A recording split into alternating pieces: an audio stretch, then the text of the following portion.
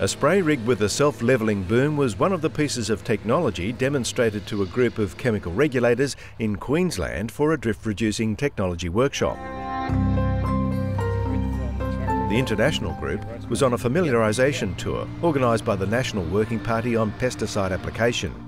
The NWPPA represents agricultural industries wanting to provide science-based data to regulators who are reviewing spray chemical labelling specifications, including mandatory no-spray zones.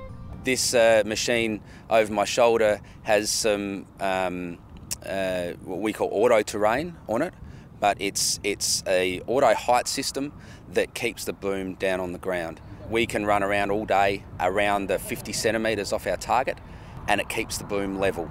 Many regulators don't get the opportunity to see this type of technology in operation or talk directly with manufacturers and users, which is why they were even prepared to scramble over a fence to get up close and why the manufacturer had been willing to haul this rig 2,000 kilometres from Adelaide to Gatton for a one-off demonstration. A typical auto height system has sensors out on the wings that measure the ground and can adjust that wing to suit the level of the ground to keep it at a certain point. Uh, this system is independent to the machine now, so the boom can be can do whatever it wants and however it has to do it to keep itself level.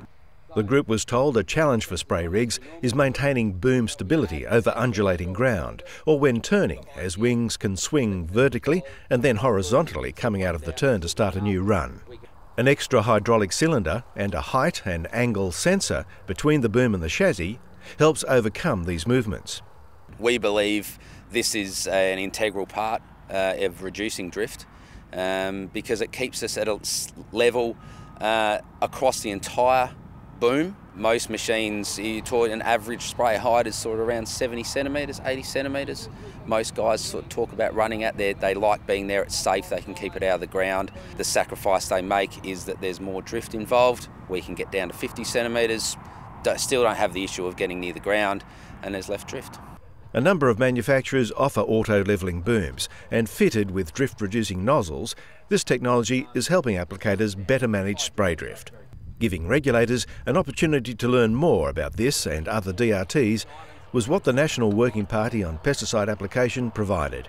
It's knowledge the regulators now have as they review new specifications for spray buffer zones.